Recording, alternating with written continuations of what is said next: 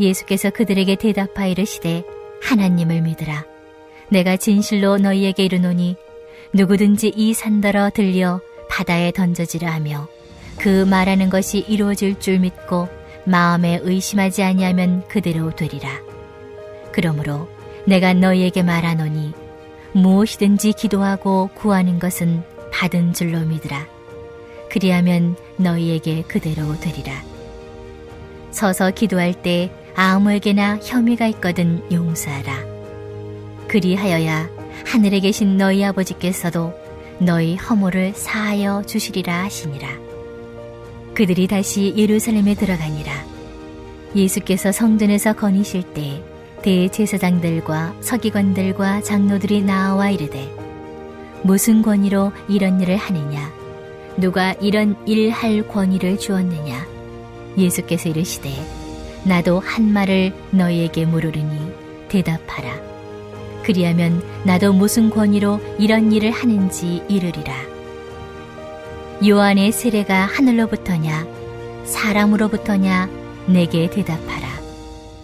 그들이 서로 의논하여 이르되 만일 하늘로부터라 하면 어찌하여 그를 믿지 아니하였느냐 할 것이니 그러면 사람으로부터라 할까 하였으나 모든 사람이 요한을 참 선지자로 여기므로 그들이 백성을 두려워하는지라 예 예수께 대답하여 이르되 우리가 알지 못하노라 하니 예수께서 이르시되 나도 무슨 권위로 이런 일을 하는지 너희에게 이르지 아니하리라 하시니라. 오늘 본문은 뿌리 마른 무화과 나무 이야기로 시작됩니다. 어느 날, 어느 날 아침 제자들은 예수님과 길을 걷던 중에 무화과 나무가 뿌리째 마른 것을 보게 되죠. 오늘 본문에 앞선 13절과 14절에 보면 어, 예수님께서는 열매는 없고 어, 잎사귀만 무성한 무화과 나무를 향하여서 이제부터 아무도 내게서 열매를 취하지 못하리라 말씀하신 내용이 나오는데 이같이 말씀하신 이후로 이 무화과 나무는 잎사귀는 마르고 가지는 앙상해지고 결국 뿌리마저 마르게 됩니다. 이 내용만 따로 떼어놓고 보면 열매가 맺히는 시기가 아니라서 열매가 사실 없었던 것 뿐인데 어찌 예수님께서는 이 무화과 나무를 저주하셨을까 이런 생각을 할 수 있지요. 이런 생각을 할 수 있겠지만 아, 우리는 어제 또한 새벽 말씀을 통해 알고 있는 사실이 있지요. 아, 그것은 오늘 본문 속 이 말라 비틀어진 무화과 나무의 모습은 아, 직전 본문 속에 등장하는 누구입니까? 유대인들이지요. 하나님의 성전에서 버젓이 장사를 벌이고 거래를 벌이 일삼는 유대인들. 겉으로는 반듯하나 속은 텅 비어 있는 저들의 영적 빈곤의 상태를 그대로 보여주고 있다라는 것을 우리는 어, 알고 있습니다. 세속적인 욕심에 눈이 먼 나머지 하나님의 뜻을 헤아리지 못한 채 살아가는 저들의 무가, 둔감함과 무지함을 예수님께서는 말라 죽은 무화과 나무에 빗대어 폭로하신 거죠. 그러면서 예수님께서는 제자들에게 하신 말씀이 있습니다. 어, 이 말씀은 앞선 성전 정화 사건과 무화과 나무 사건 이 두 사건에 대한 예수님께서 내리신 결론이라고 보시면 됩니다. 아, 그 말씀을 함께 읽어보기를 원하는데요. 함께 오늘 본문 22절의 말씀을 읽도록 하겠습니다. 어, 예수께서 그들에게 대답하여 이르시되 하나님을 믿으라. 아멘. 예수님께서 제자들에게 말씀하십니다. 너희는 하나님을 믿으라. 이 말씀이 담고 있는 의미를 아시겠죠? 만민이 기도하는 집이어야 할 하나님의 성전을 더럽힌 저 유대인들의 믿음은 제대로 된 믿음이 아니라는 거죠. 그런 저들을 너희는 본받지 말라 말씀하시는 겁니다. 그런 저들과는 다르게 너희는 제대로 된 믿음을 가져라. 이렇게 말씀하시는 겁니다. 그럼 여러분 제가 여러분께 여쭙고 싶은 게 있습니다. 어떤 믿음이 제대로 된 믿음이냐 하는 것입니다. 어떤 믿음을 가리켜 제대로 된 믿음이라 말할 수 있겠느냐 하는 것이죠. 우리가 흔히 믿음에 대하여서 갖는 오해가 있습니다. 열심히 있는 믿음을 가리켜 제대로 된 믿음으로 생각한다라는 거예요. 그런데 여러분이 아셔야 할 것이 있습니다. 열심히 있다고 해서 이것이 꼭 제대로 된 믿음이라 말할 수는 없다는 겁니다. 오늘 본문 속에 말라 죽은 무화과 나무가 상징하고 있는 유대인들을 보세요. 저들이 예수님의 질책을 받게 된 건 믿음이 없어서가 아니었죠. 여러분 저들에게도 믿음이 있었습니다. 문제는 열심만 가득한 믿음이었다라는 거예요. 그 열심도 하나님을 향한 열심이 아니었죠. 엄밀히 말씀드리면 율법을 향한 열심이었죠. 저들의 믿음은 율법을 잘 지켜갈 때에 의롭다라고 여김을 받을 것이라는 그런 믿음이었죠. 이렇게 율법에 매어 살면서 율법을 지켜 의롭다고 여김을 받고 율법을 통해 구원에 이를 수 있다라고 여기는 것을 가리켜서 율법주의라고 합니다. 우리 예수님께서 이것 통렬히 비판하셨죠. 왜냐하면 율법주의는 신앙을 형식주의에 빠지게 하거든요.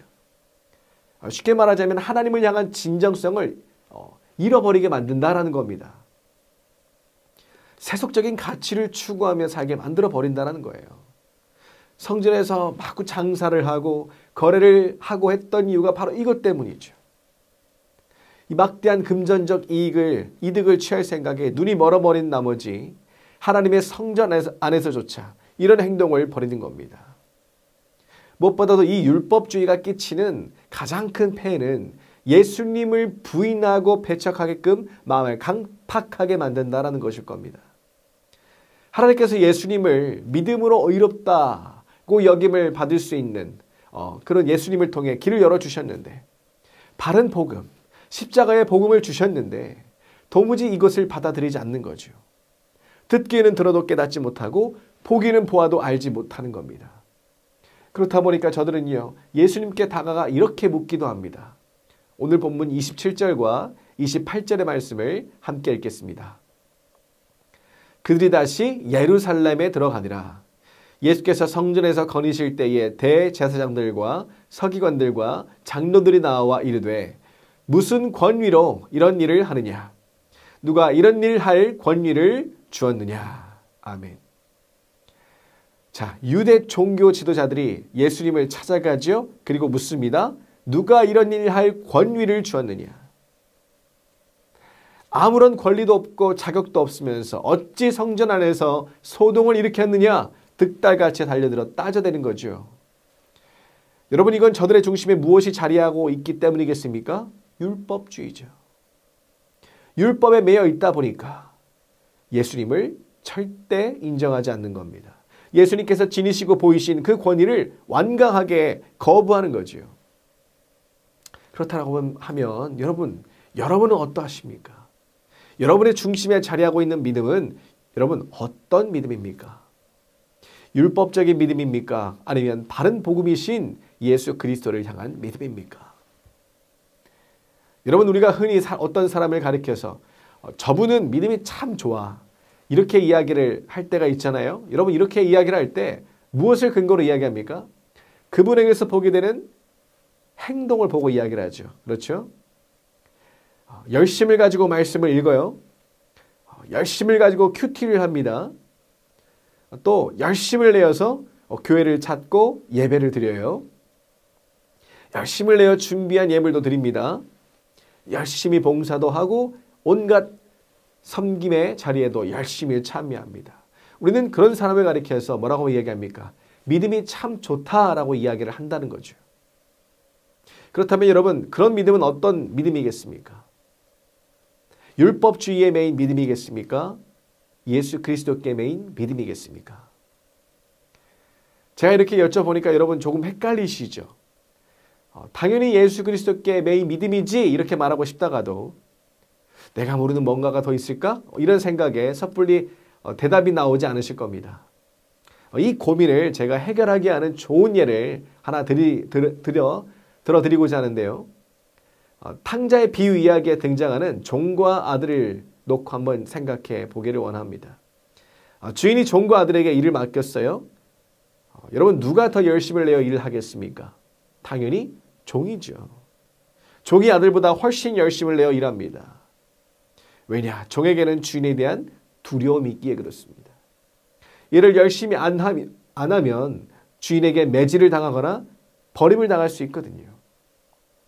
그래서 시키는 일이라면 열심을 내어서 최선을 다하는 겁니다. 반면에 아들은 어떻습니까? 아들은 그렇지 않죠. 물론 아들이라고 해서 다 같은 아들은 아닙니다. 게으름을 피우는 아들도 있겠고 또 열심을 내는 아들도 있겠죠. 중요한 건 종에게서 보게 되는 두려움. 이 두려움을 이 아들에게서는 찾아볼 수가 없다는 거예요. 이유는 간단합니다. 그는 아들이고 주인은 그의 아버지이기에 그렇습니다. 아들은 내가 열심을 내지 않는다고 해서 아버지가 자신을 버릴 것으로 생각하지 않죠. 아버지니까요. 오히려 아들에게는 내가 어떠하든 내가 열심을 내든 내지 않든 그것과는 상관없이 너는 내 아들이라 말해주고 품어주는 아버지를 향한 사랑과 기쁨이 그 내면에 자리하고 있습니다. 이것을 말씀드리는 이유가 있는데 어, 이제 여러분 제가 가만히 보니까 어, 여러 모습의 신앙인들이 있지만 크게는 두 가지 유형의 신앙인으로 나뉘더라고요. 하나는 뭐냐? 종과도 같은 신앙인입니다. 어떤 일이든 맡겨진 일이 있으면 무엇이든 열심을 다해 감당하려 해요. 그래야 하나님께서 기뻐하신다라고 그렇게 생각합니다. 하지만 정작 그 마음에서는 갈수록 기쁨이 사라져가요. 지쳐가는 거지요. 신앙생활은 점차 버겁고 무겁게만 여겨져요. 그래도 어떻게 해서든 열심을 내보려고 해요. 그렇지 않으면 하나님께서 나를 싫어하실 거로 생각하기에 그렇습니다. 여러분 이것이 종의 마음을 가지고 살아가는 신앙인의 모습이에요. 어, 그에 반해 아들과도 같은 신앙인이 있습니다. 이런 신앙인의, 신앙인에게는 내가 하나님의 자녀라는 분명한 확신이 자리하고 있죠. 하나님께서는 언제나 나를 자녀로 인정해 주시고 품어 주시는 분이 되심에 대한 무엇이 있어요? 기쁨과 감사가 그 마음 가운데 가득합니다. 남들은 신앙생활하기 참 힘들고 어렵다라고 하지만 정작 이런 사람들은 어, 그렇지 않죠. 신앙생활이 전혀 무거운 짐이 아닌 겁니다. 이런 마음가짐을 살아가, 가지고 살아가는 신앙인이 아들과도 같은 신앙인입니다. 그럼 여러분 결국 내 믿음이 율법에 매여 있는 믿음인가? 아니면 내 믿음이 그리스도께 매여 있는 믿음인가? 여러분 이것을 아는 방법은 무엇이겠어요? 나는 종과도 같은 종과도 같은 신앙인인가? 나는 아들과도 같은 신앙인인가? 이것을 점검해 봐야 되겠죠. 내 안에 기쁨과 감사는 없고 그저 열심만 남아 있는 건 아닌지 내 안에 여전히 기쁨과 감사가 자리하고 있는지 그 마음으로 신앙생활을 이뤄가고 있는지를 살펴보아야 할 것입니다. 만약 삶에 열심만 남아 있다면 그런 사람에게는 영적 어, 번아웃, 어, 탈진이 찾아오게 될 것입니다. 무엇을 해도 감격이 없죠. 감동이 없어요. 감사가 없어요. 대신에 이러해야 한다, 저러해야 한다라는 생각만 자꾸 커지게 됩니다. 문제는 이런 생각을 가지고서 남을 판단한다라는 거예요. 이렇게 판단하기 시작하면 충돌과 다툼은요, 불보듯 뻔하죠. 심지어 그 다툼은요, 치열합니다. 한쪽에서 이렇게 말해요. 하나님께서 나에게 이런 마음을 주셨노라고. 자, 그런데 다른 한쪽에서는 이렇게 말합니다. 하나님께서 나에게는 이와는 다르게 다른 마음을 주셨노라고. 가만히 계시는 하나님까지 끌어와서는 자신의 주장에 힘을 실습니다. 서슴없이 하나님을 앞세워 내 뜻을 강화하고 하나님의 이름을 내세워 상대의 뜻을 꺾으려는 이러한 태도가 오늘날까지도 교회 안에서 버젓이 일어나고 있다는 거예요. 이 밖에도 보면 율법의 메인 믿음으로 인한 잘못된 행태가 교회 안에 많습니다. 뿌리를 뽑아야 하는데 그러지 못했다 보니까 여전히 교회 안에 잔재해 있는 것들이 있다라는 거죠. 대표적으로는 두 가지, 대표적으로 두 가지를 말씀을 드리면 먼저는 교회 직분의 계급화입니다. 나는 아니라고 하는데 은연중에 직분에 대한 급을 나누는 거죠. 집사보다는 권사가, 권사보다는 장로가 더 높다고 여기면서 평신도보다 목회자가 더 높다라고 그렇게 생각합니다. 전형적인 율법주의적 발상이죠. 여러분, 여러분이 아셔야 하는 것이 있습니다. 여러분, 직분은 계급이 아니에요. 역할입니다. 역할에 따라 직분을 분리 놓은 것이지 서열이 아니에요. 우리 교회 성도님들은 목회자를 대할 때 보면 목회자를 향한 존중하려는 마음이 느껴집니다. 어, 그런 모습을 보면 우리 교회 참 좋다, 건강하다 어, 이런 생각을 하게 되는데 제가 사역했던 어느 한 교회에서 어느 한 분이 교육부 전도사님 한 분을 가리켜서 새파랗게 어리다면서 애기 전도사라고 부르는 것을 들었던 적이 있습니다. 여러분 이거 뭐예요? 직분에 계급화죠.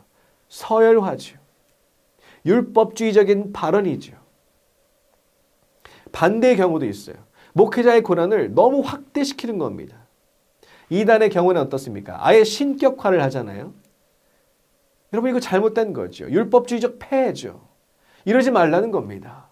직분에 따라 태도를 달리할 것이 아니라 서로에게 맡겨진 역할이 있음을 인정하고 존중하는 태도가 있어야 한다는 거예요. 자 그리고 또 하나가 있어요. 교회 안에 내가 지정해 놓은 내 자리가 그렇습니다. 내 자리에는 누구도 앉으면 안 되는 거예요. 내 자리에 누가 앉기라도 하면 그날은 전쟁인 겁니다.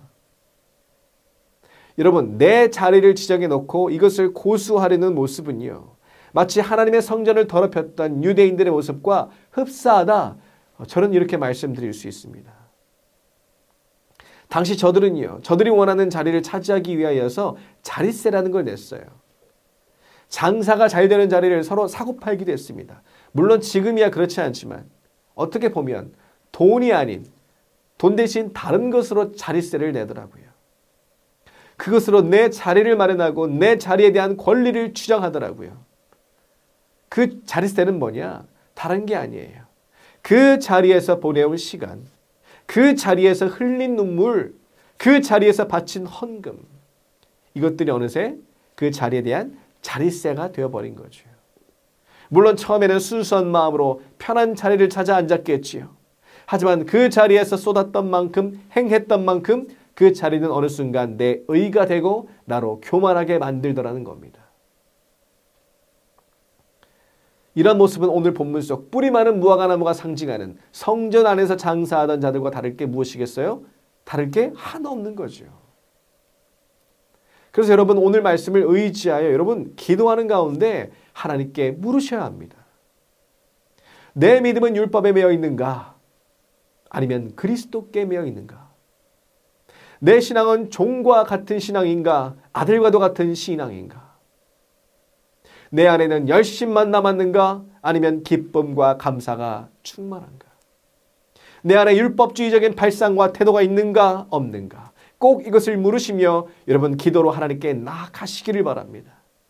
만약에 내 믿음이 율법에 매여 있음을 보게 되신다면 만약에 내 신앙이 종과 같은 신앙이요 내 안에 열심만 남아 있는 것을 보게 되신다면 입만 무성하고 열매는 없는 무화과나무와도 같은 그러한 유대인들의 모습, 율법주의적인 모습을 여전히 답습하고 있는 모습이 내 안에 있다는 것을 여러분 보게 되신다면 이 모든 것들이 내게서 끊어지게 해달라고 하나님께 간구하시길 바랍니다. 오늘 본문 23절과 24절에서 무엇이라 말씀하고 있습니까? 이 산더러 들리어 바다에 던져지라 하며 그 말하는 것이 이루어질 줄 믿고 마음에 의심하지 아니하면 그대로 되리라. 여러분 그렇게 말씀하고 있잖아요. 무엇이든지 기도하고 구하는 것은 받은 줄로 믿으면 그대로 되리라. 이렇게 이야기하고 있지 않습니까? 여러분 이 말씀들을 붙잡으세요. 이 말씀들이 내 삶에 이루어질 것을 의심치 말고 믿으시길 바랍니다. 그리하면 하나님께서 우리를 위하여 역사하실 겁니다. 그리스도께 매여서 제대로 된 믿음을 소유하는 삶을 살 수 있도록 아들과도 같이 하나님을 온전히 신뢰하는 삶을 지닐 수 있도록 그리하여 어떤 일을 감당하든 마음에 늘 기쁨과 감사가 넘치도록 율법주의로 인한 의와 모든 교만은 끊어지도록 하나님께서는 우리를 도와주실 줄로 믿습니다. 여러분 이러한 은혜와 이러한 축복이 오늘 말씀을 의지하여 살아가기를 결단하시는 여러분 모두에게 이루어지시기를 가득하시기를 주님의 이름으로 간절히 축원드립니다. 이 시간 말씀을 기억하시며 함께 기도하기를 소망합니다. 먼저 기도할 것은 입만 무성하고 열매는 없는 영적으로 빈곤한 유대인들과 같지 않게 하시고 그리스도께 매여서 아들의 신앙으로 기쁨과 감사로 살게 하시고 내 삶에 자리한 율법주의적인 행태를 모두 끊어낼 수 있도록 주님 은혜 도하여 주옵소서. 또 함께 기도할 것은 어, 다음 주에 또 진행되는 중등부 겨울 수련회와 초등부 겨울 성경학교를 통하여 참여한 우리의 자녀들 모두가 주님을 깊이 만나게 되고 주님 주신 비전 따라 살아가기를 결단하는 은혜의 시간 되게 해달라고 기도해 주시기를 바랍니다. 마지막으로 함께 기도할 것은 다음 세대를 위한 세상전 건축의 과정이 하나님의 섭리대로 이루어지게 하여 주시옵시고 관련한 심의 하나하나 문제없이 잘 진행되게 해달라고 이 시간 주님의 이름 한번 부르시고 간절한 마음으로 함께 기도하시겠습니다.